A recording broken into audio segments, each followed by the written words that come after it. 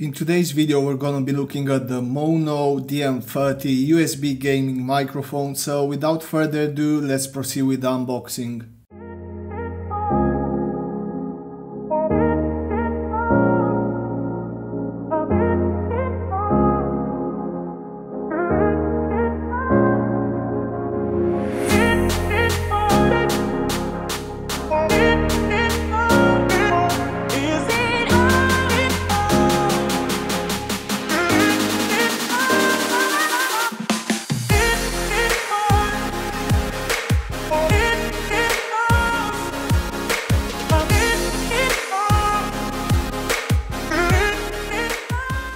And that's the whole content of the box. So together with the Maono DM30 itself, you get this funny looking microphone stand which comes pre-attached.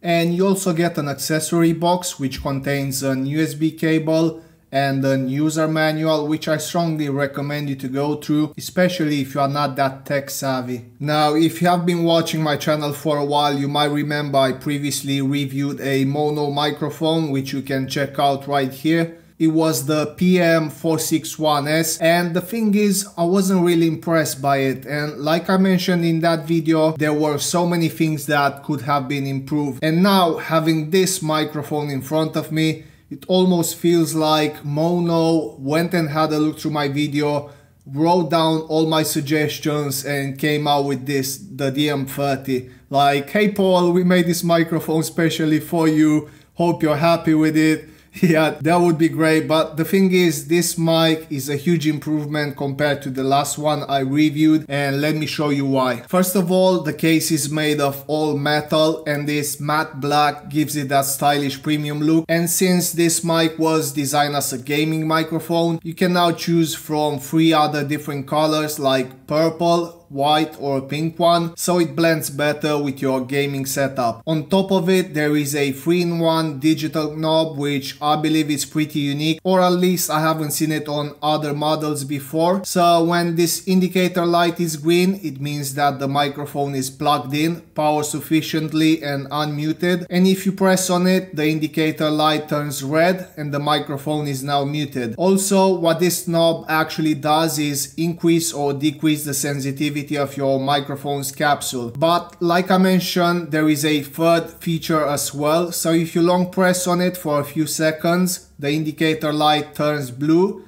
and you can now adjust the volume of your headphones which takes me to the next feature I want to talk to you about. At the bottom of this microphone there is a 3.5mm headphone jack socket which allows you to monitor the quality of your sound in real time without any echo so you know exactly what you sound like. The USB-C port allows you to connect the mic to your computer and what would this gaming microphone be without the RGB lights?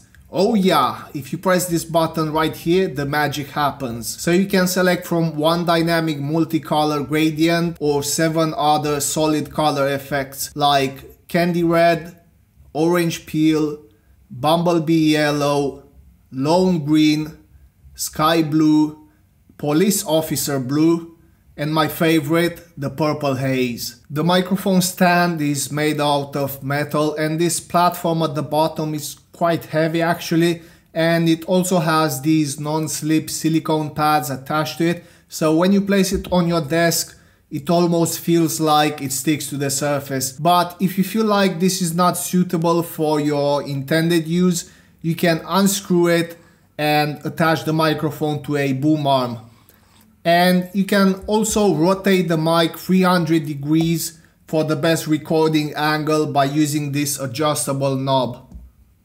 Bear in mind that the Maono DM30 has a cardioid polar pattern, which means that the area in front of the mic is the most sensitive. And as you go on the sides, the picked up signal gets significantly decreased till it almost reaches a dead spot behind the mic.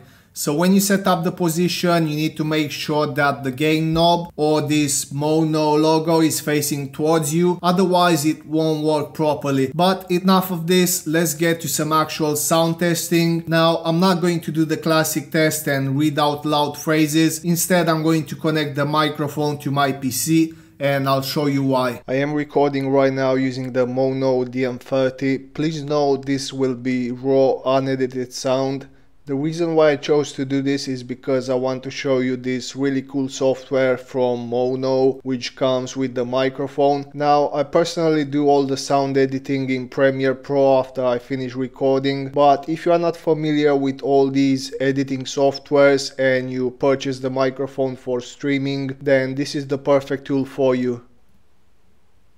Once you open the Maono Link software you will see there are two tabs to choose from standard and an advanced one. And from here you can control all the basic stuff that you can do with the buttons placed on the actual microphone like the gain level, the headphone volume or the RGB lights. But at the same time you have a few more options like this slider right here which allows you to adjust the brightness of the RGB light. Or you can select from these four different tones which are basically like some equalizer presets. So you have natural which is basically the sound of the microphone as it is without any tweaking. And you have a deep one which decreases some of the low frequency sounds. You have a bright one which increases some of the high frequency sounds. And finally there's the legacy one which basically decreases the low and high frequency sounds in order to get a warmer voice. So you can play with them and find whichever suits you best. But the fun stuff comes on the advanced tab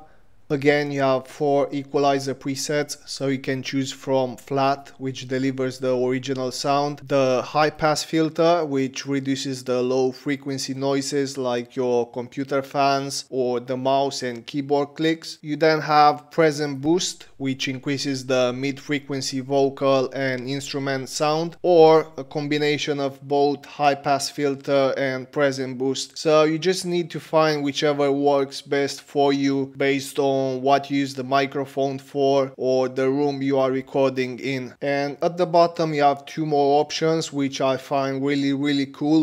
There is a limiter and a compressor which are very similar and at the same time very different.